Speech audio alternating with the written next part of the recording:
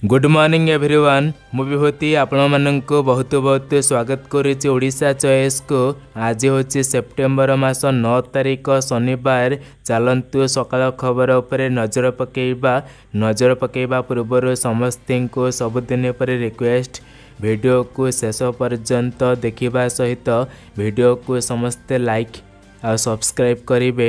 Subscribe କରି ପାଖରେ ଆସୁଥିବା ଅଲ୍ ବେଲ୍ ଆଇକନ୍ ଦବାଇବା ପାଇଁ ଭୁଲିବେ ନାହିଁ। ଚାଲନ୍ତୁ ଖବର ଉପରେ ନଜର ପକାଇବା। ଲେଟ୍ ଷ୍ଟାର୍ଟ ଖବର ରାତିରେ ଉଡ଼ିବନି ବିମାନ। ଅକ୍ଟୋବର ପହିଲାରୁ ବନ୍ଦ ରହିବ ବିମାନ ସେବା। ରାତିରେ ଆଠ ଘଣ୍ଟା ବନ୍ଦ ରହିବ ଭୁବନେଶ୍ୱର ବିମାନ ବନ୍ଦର। ବିଜୁ ପଟ୍ଟନାୟକ ଆନ୍ତର୍ଜାତୀୟ ବିମାନ ବନ୍ଦରରେ ସୁରକ୍ଷିତ ବିମାନ ଅବତରଣ ପାଇଁ କୋର୍ଟରା ଦୁଇ ଯାହାକି ଲାଇଟ୍ ବ୍ୟବସ୍ଥା ଆରମ୍ଭ ହେବ।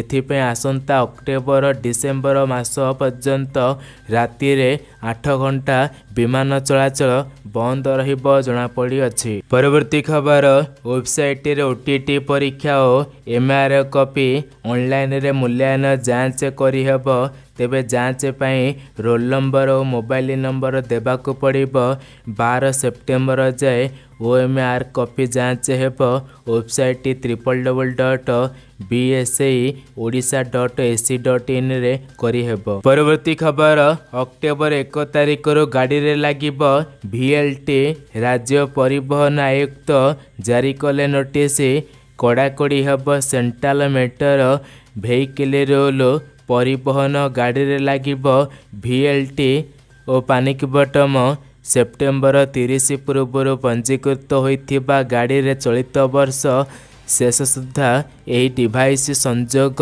ବାଧ୍ୟତାମୂଳକ ଏନେ ରାଜ୍ୟ ପରିବହନ ଆୟୁକ୍ତଙ୍କ ପକ୍ଷରୁ ଏକ ସର୍ବଜନୀନ ନୋଟିସ୍ ଜାରି କରିଅଛନ୍ତି।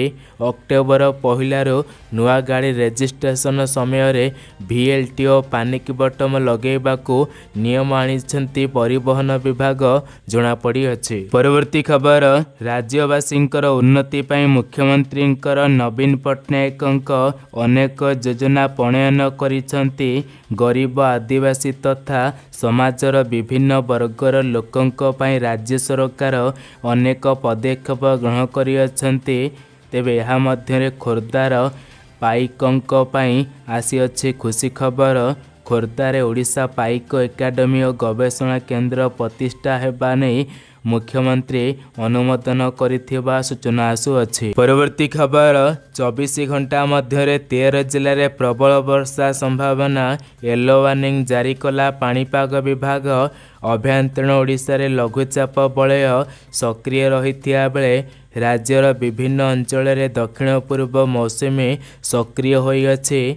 ଏହାର ପ୍ରଭାବରେ ଆସନ୍ତା ଦୁଇ ଦିନ ଧରି ରାଜ୍ୟର ଅଧିକାଂଶ ଅଞ୍ଚଳରେ ବର୍ଷା ଲାଗି ରହିବ ବୋଲି ଭୁବନେଶ୍ୱର ସ୍ଥିତ ପାଣିପାଗ ବିଭାଗ ତରଫରୁ କୁହାଯାଇଅଛି ଏହାର ପ୍ରଭାବରେ ରାଜ୍ୟର ବିଭିନ୍ନ ଅଞ୍ଚଳରେ ସକାଳୁ ବର୍ଷା ଲାଗି ରହିଛି। ତେବେ ଆସନ୍ତା ଚବିଶ ଘଣ୍ଟା ମଧ୍ୟରେ ଅର୍ଥାତ୍ ଆଜି ନଅ ତାରିଖ ଅପରାହ୍ନ ସୁଦ୍ଧା ରାଜ୍ୟର ତେରଟି ଜିଲ୍ଲାର ଗୋଟିଏ ଦୁଇଟି ସ୍ଥାନରେ ପ୍ରବଳ ବର୍ଷା ସମ୍ଭାବନା ରହିଛି ବୋଲି ଜାରି ସତର୍କ ସୂଚନାରେ ପାଣିପାଗ ବିଭାଗ ସୂଚନା ଦେଇଅଛି। ଏହିସବୁ ଜିଲ୍ଲାଗୁଡ଼ିକ ମଧ୍ୟରେ ମୟୂରଭଞ୍ଜ ବାଲେଶ୍ୱର ଭଦ୍ରକ ଏପରି ଯାଜପୁର କଟକ ଢେଙ୍କାନାଳ ଅନୁଗୁଳ କେନ୍ଦୁଝର ବରଗଡ଼ ଦେବଗଡ଼ ସମ୍ବଲପୁର ଝାରସୁଗୁଡ଼ା ଓ ସୁନ୍ଦରଗଡ଼ ଆଦି ତେରଟି ଜିଲ୍ଲାରେ ପ୍ରବଳ ବର୍ଷା ସମ୍ଭାବନା ରହିଛି ବୋଲି ପାଣିପାଗ ବିଭାଗ ତରଫରୁ ସତର୍କ ସୂଚନାରେ କୁହାଯାଇଅଛି ଏହାକୁ ଦୃଷ୍ଟିରେ ରଖି ଏ ସମସ୍ତ ଜିଲ୍ଲାକୁ ହଳଦିଆ ଚେତାବନୀ ଜାରି କରାଯାଇଥିବା ଜଣାପଡ଼ିଅଛି। ଏଥିପ୍ରତି ସତର୍କ ରୁହନ୍ତୁ। ପରବର୍ତ୍ତୀ ଖବର ଦେଶର ସର୍ବବୃହତ public bank S B I ତରଫରୁ ନେସନ ଷ୍ଟାଫ୍ ଟ୍ରାଞ୍ଜିକ୍ଟ କାର୍ଡ଼ ଲଞ୍ଚ କରାଯାଇଛି। ଏହି କାର୍ଡ଼ରେ ଗ୍ରାହକଙ୍କ ମାନଙ୍କ ପାଇଁ ଅନେକ ସୁବିଧା ଉପଲବ୍ଧ ରହିଛି। ଏହି କାର୍ଡ଼ ମେଟ୍ରୋ ବସ୍ ଓ ପାର୍କିଂ ଆଦିରେ ବ୍ୟବହାର ସହ ବ୍ୟାଙ୍କିଂ ଏବଂ ଅନ୍ୟାନ୍ୟ ଦୈନିକ କାର୍ଯ୍ୟକୁ ମଧ୍ୟ ସହଜ ଓ ସରଳ କରିବ ବୋଲି ବ୍ୟାଙ୍କ ପକ୍ଷରୁ ସୂଚନା ଦିଆଯାଇଛି। ତେବେ ନେସନ ଫାଷ୍ଟ ଟ୍ରାଞ୍ଜେକ୍ଟ କାର୍ଡ଼ ରୂପା ରୂପେ ଏବଂ ନ୍ୟାସନାଲ୍ କମନ୍ ମୋବିଲିଟି କାର୍ଡ଼ ଟେକ୍ନୋଲୋଜିରେ କାର୍ଯ୍ୟ କରେ। ଏହି କାର୍ଡ଼ ନ୍ୟାସନାଲ୍ ଭିଜନ ସହିତ ପ୍ରସ୍ତୁତ କରାଯାଇଛି ଏବଂ ଏହା ଯାତାୟାତ ପ୍ରକ୍ରିୟାକୁ ସରଳ କରିବ ବୋଲି ଏସ୍ବିଆଇ ତରଫରୁ ସୂଚନା ଦିଆଯାଇଅଛି। ପରବର୍ତ୍ତୀ ଖବର ଅନ୍ତରିକ୍ଷର ମହାଶକ୍ତି ହେବ ଭାରତ। ଆକାଶରେ ଇସ୍ରୋ ନିର୍ମାଣ କରିବେ ବିଶ୍ୱର ତୃତୀୟ ମହାକାଶ କେନ୍ଦ୍ର।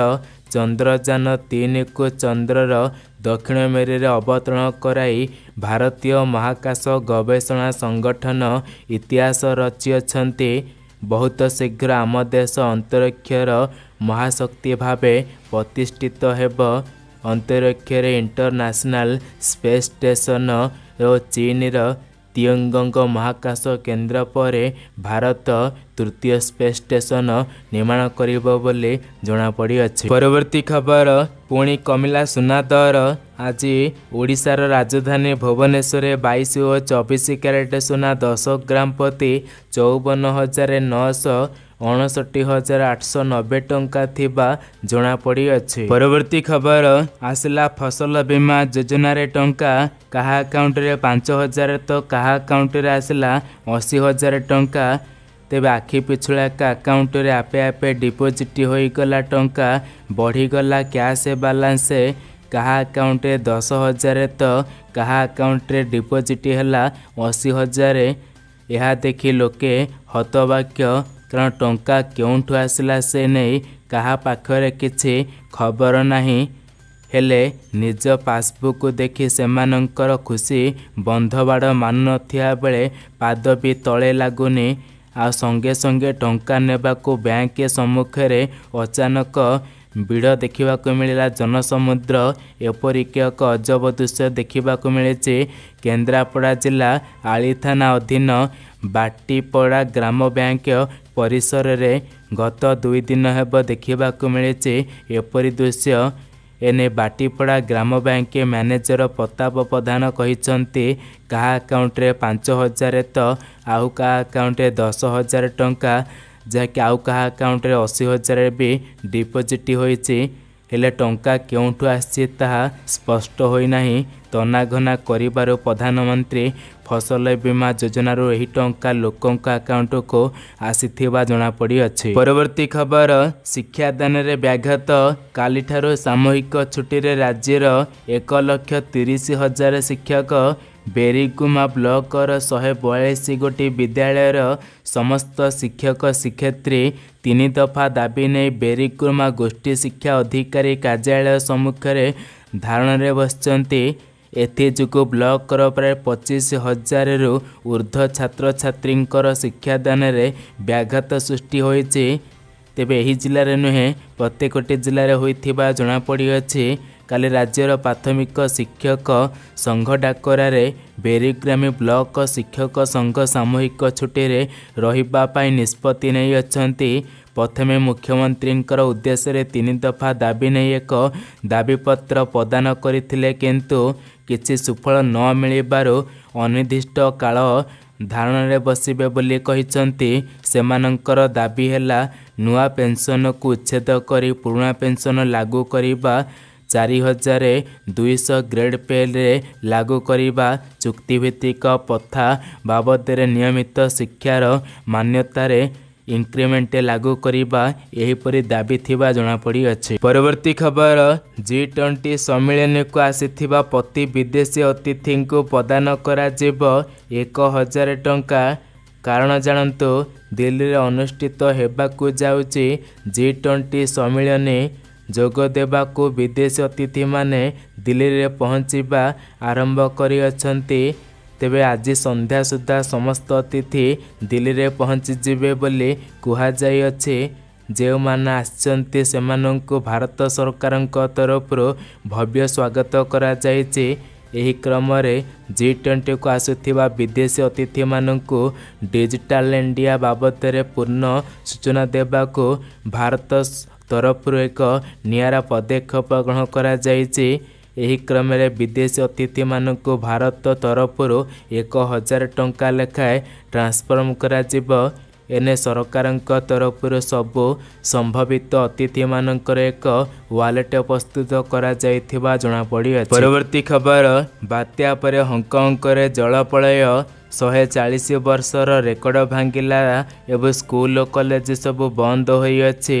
ହଂକଂରେ ତାଣ୍ଡବ ରଚିଛି ପ୍ରାକୃତି ଶତାବ୍ଦୀର ବଡ଼ ଜଳପ୍ରଳୟ ହଂକଂରେ ମୂଷଳ ଧାରଣାରେ ବର୍ଷା ହେବା ଯୋଗୁଁ ଜନଜୀବନ ଠପ୍ ହୋଇଯାଇଛି। ସହରରେ ଏତେ ବନ୍ୟା ପାଣି ଲହଡ଼ି ଭାଙ୍ଗୁଛି ଯେ ଦୋକାନ ସପିଂ ମଲ୍ ଓ ମେଟ୍ରୋ ଷ୍ଟେସନରେ ଭିତରେ ପାଣି ଆଉ ପାଣି ଏଭଳି ସ୍ଥିତିରେ ସ୍କୁଲ ଓ କଲେଜ ସବୁ ବନ୍ଦ ପାଇଁ ନିର୍ଦ୍ଦେଶ ଦିଆଯାଇଥିବା ଜଣାପଡ଼ିଅଛି। ପରବର୍ତ୍ତୀ ଖବର ଆଜିଠୁ ସମସ୍ତ ସ୍କୁଲ ଓ କଲେଜ ବନ୍ଦ। ସରକାରୀ ଓ ବେସରକାରୀ କାର୍ଯ୍ୟାଳୟ ବ୍ୟାଙ୍କ ମଧ୍ୟ ବନ୍ଦ ରହିବ। ଦୁଇ ଦିନ ପର୍ଯ୍ୟନ୍ତ ଆଜି ନଅ ତାରିଖ କାଲି ଦଶ ତାରିଖ ଦୁଇ ଦିନ ଧରି ଭାରତର ରାଜଧାନୀ ନୂଆଦିଲ୍ଲୀ ସ୍ଥିତ ପ୍ରଗତି ମଇଦାନରେ ଆୟୋଜିତ ହେବାକୁ ଯାଉଛି ଜି ଟ୍ୱେଣ୍ଟି ସମ୍ମିଳନୀ। ଏଥିପାଇଁ ସଜେଇ ହୋଇଛି ଦିଲ୍ଲୀ ଝଲସୁଛି ପ୍ରଗତି ମଇଦାନ।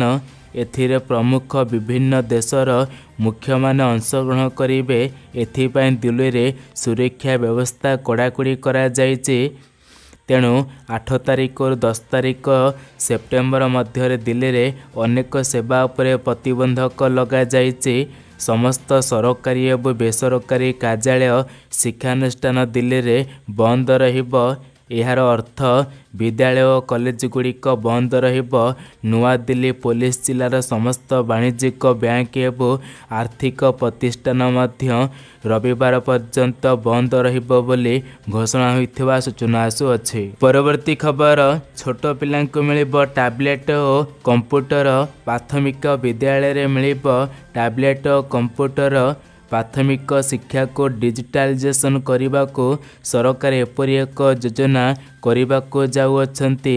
ଫଳରେ ପିଲାମାନଙ୍କ ଶିକ୍ଷାରେ ଉନ୍ନତି ଆସିବା ସହିତ ପ୍ରତ୍ୟେକ ପିଲାଙ୍କୁ ଟ୍ୟାବ୍ଲେଟ୍ ବା କମ୍ପ୍ୟୁଟର ମିଳିବ ବୋଲି ସୂଚନା ଦିଆଯାଇଛି।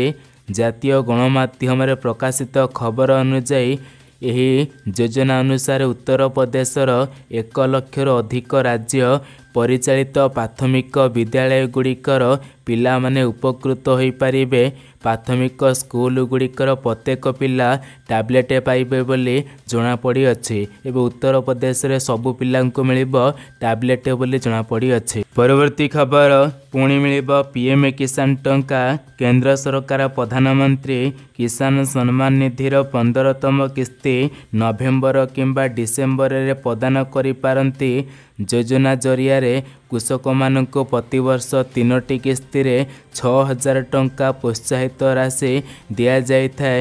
ଏହି ଅର୍ଥ ରାଶି ଚାରି ମାସରେ ଥରେ ଦୁଇ ହଜାର ଟଙ୍କା କିସ୍ତି ହିସାବରେ ମିଳିଥାଏ। ତେବେ ଏହି ଯୋଜନାର ଲାଭ ଉଠାଇବାକୁ ଅନଲାଇନରେ କିଛି ଡକ୍ୟୁମେଣ୍ଟ ଭେରିଫିକେସନ୍ କରିବାକୁ ହେବ। ଏହା ନ କଲେ ଲାଭାର୍ଥୀଙ୍କୁ ଯୋଜନାର ଲାଭ ପାଇବାରୁ ବଞ୍ଚିତ ହେବାକୁ ପଡ଼ିବ। ସରକାରଙ୍କର ଏହି ଯୋଜନାରେ କିଭଳି କୌଣସି ତ୍ରୁଟି ନ ରହିବା ସେଥିପାଇଁ ଇ କେ ୱାଇ ସି କରିବା ଅନିବାର୍ଯ୍ୟ କରାଯାଇଛି। ଏହା ସହିତ ଆପଣଙ୍କର ବ୍ୟାଙ୍କ ଆକାଉଣ୍ଟ ଆଧାର ଭେରିଫିକେସନ୍ ରହିଥିବା ଦରକାର ଏପରି ହୋଇଥିଲେ ଆପଣମାନଙ୍କର କିଷାନ ଯୋଜନାରେ ଟଙ୍କା ମିଳିପାରିବ ବୋଲି ଜଣାପଡ଼ିଅଛି। ତେବେ ଏହାରି ଭିତରେ ସୂଚନା ରହୁଅଛି ନଭେମ୍ବରରୁ ଡିସେମ୍ବର ମଧ୍ୟରେ କିଷାନ ଯୋଜନାର ଟଙ୍କା ବର୍ଷର ତିନି ନମ୍ବର କିସ୍ତି ପନ୍ଦରତମ କିସ୍ତି ଟଙ୍କା ଆସିବ ବୋଲି ଜଣାପଡ଼ିଅଛି। ବାସ୍ ଏଇ ଥିଲା ଇନଫର୍ମେସନ୍ ଭିଡ଼ିଓଟି ଶେଷ ପର୍ଯ୍ୟନ୍ତ ଦେଖିଥିବାରୁ ବହୁତ ବହୁତ ଧନ୍ୟବାଦ।